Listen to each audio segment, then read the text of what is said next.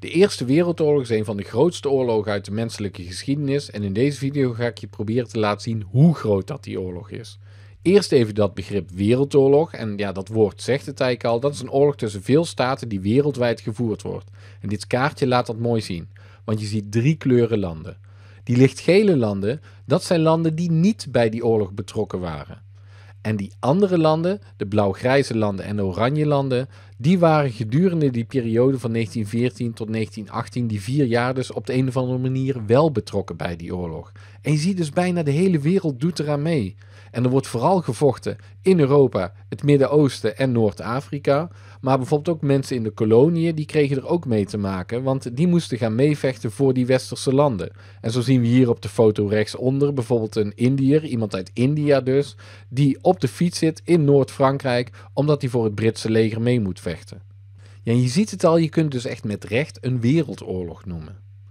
De Eerste Wereldoorlog is ook een van de meest dodelijke oorlogen uit de hele geschiedenis. Er vallen heel veel slachtoffers, vooral onder soldaten. En dan krijg je dus dit soort begraafplaatsen, zoals er hier eentje is in Noord-Frankrijk op de foto links. Maar laten we vooral eens even naar het kaartje rechts gaan kijken. Focus even op Europa. Focus ons ook even op die grote machten die elkaar allemaal de oorlog hebben verklaard. En dan zie je dus bij ieder land zie die blokjes staan. En dat staat voor de grootte van de legers. Want één blokje staat voor 250.000 soldaten. Nou ja, zet de video maar even op pauze en ga maar eens even tellen hoeveel blokjes je dan ziet.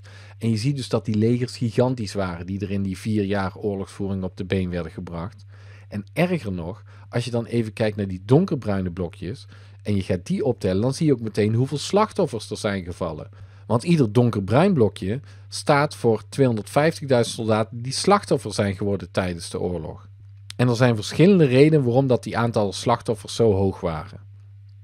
De eerste en de belangrijkste reden is die loopgravenoorlog. He, soldaten hadden zich ingegraven aan allebei de kanten, zaten klaar met de mitrailleurs, met hun artillerie en iedere keer kregen ze weer de opdracht om dan uit die loopgraaf te komen, het niemandsland proberen over te steken, om zo de vijandige loopgraaf in te nemen. En iedere keer zat de vijand dan weer lekker beschut, kon goed schieten en uh, kon beschieten ook met artillerie en dergelijke. En daardoor viel er iedere keer bij zo'n aanval op zo'n loopgraaf heel veel slachtoffers. En omdat geen van de kanten nou echt veel sterker dan de andere was, zorgt dat er ook voor dat ja, die loopgraven eigenlijk ook best wel zinloos zijn. In die zin dat er nooit echt heel veel terrein op de vijand wordt gewonnen. En toch geven de officieren iedere keer weer de opdracht om uit die loopgraven te komen. Dat is namelijk wat ze van vroeger uitgewend waren. Je roept je soldaten op om naar die vijand op te trekken om daar met ze te gaan vechten. Er was alleen één probleem. Vroeger werkte dit, maar we zitten nu in de tijd van de industrialisatie en moderne wapens. En die wapens die zijn ook gewoon veel schadelijker en dodelijker. En daar was men niet aan gewend. En dan zie je dus dat het makkelijker wordt om mensen met een mitrailleur of met een tank of met gifgas om het leven te brengen. Dus die loopgraventactiek en die dodelijke wapens, die zorgen voor al die donkerbruine blokjes die we op de vorige pagina zagen. Maar ook de burgerbevolking die kreeg met de oorlog te maken, want de Eerste Wereldoorlog is een zogenaamde totale oorlog. En dat betekent dat de economie en de hele bevolking worden ingezet om de oorlog te kunnen winnen. En dat zag je in Duitsland, dat zag je in Frankrijk, dat zag je in Engeland, dat zag je overal gebeuren. De regering ging echt zeggen: jongens, we moeten samen achter die oorlog staan, we kunnen hem alleen samen winnen. Dus ook de burgers die kregen ermee te maken. En dat betekende bijvoorbeeld dat fabrieken uh, die moesten dingen gaan maken die nodig waren voor de strijd: uniformen, wapens en munitie. En dat betekent ook dat in die fabrieken steeds meer vrouwen kwamen te werken, omdat de mannen aan het front moesten gaan vechten. Dus de vrouwen moesten dat werk overnemen. En omdat er aan dat front zoveel slachtoffers vielen, werden artsen en verpleegkundigen opgeroepen om vooral ook naar dat front toe te gaan, om daar zo die gewonde soldaten te verzorgen. Maar er wordt dus vier jaar lang gevochten, waarbij er heel veel slachtoffers vallen en waarbij ook het hele land ja, niet tot stilstand komt, maar wel in teken komt te staan van die oorlog.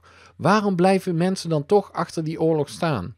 Nou, dat heeft te maken met de regeringen van al die verschillende landen, de overheid, want die zorgen ervoor dat mensen de oorlog blijven steunen. En daar hebben ze eigenlijk twee middelen voor. Ten eerste wordt er heel veel propaganda gemaakt tijdens de Eerste Wereldoorlog. En propaganda is een soort politieke reclame. Je probeert de mening van een grote groep mensen, de bevolking van Frankrijk of van Engeland of van Duitsland, te beïnvloeden. En dat doe je via bijvoorbeeld posters, kranten en nog veel meer. En dan krijg je dus dit soort posters, zoals links een Amerikaanse poster, waarbij de Amerikanen eigenlijk worden opgeroepen om uh, die mad brute, hè, de, de, gekke brute Duitsers te gaan uh, verslaan. Dus enlist, neem deel in het leger. Of zo'n Duitse poster rechts waar staat: uh, Dein vaderland is in gevaar, oftewel je vaderland is in gevaar. Melde die, meld je aan bij het leger. En door de hele tijd maar die boodschap te laten zien van hey, wij zijn voor het goede aan het vechten en die vijand die is echt super gevaarlijk, daar moet je tegen vechten, bleven mensen toch achter die oorlog staan.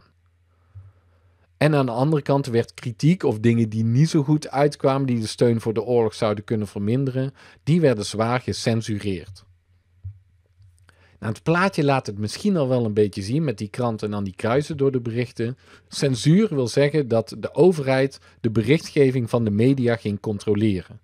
Er mocht niet zomaar iets in de krant komen te staan waar de overheid het niet mee eens was, wat de steun aan de oorlog zou kunnen verminderen. En dat zie je op allerlei manieren terug, zoals bijvoorbeeld ook deze brief die hier door een soldaat is geschreven, waarbij van alles is weggelakt in de tekst door de legerleiding, zodat de mensen thuis niet te horen zouden krijgen hoe verschrikkelijk het eigenlijk echt was aan het front. Dus ook die propaganda en die censuur zorgden ervoor dat die Eerste Wereldoorlog een totale oorlog was. Vier jaar lang werd er gruwelijk gevochten en in de volgende video zullen we gaan zien hoe er uiteindelijk een einde zal komen aan die Eerste Wereldoorlog.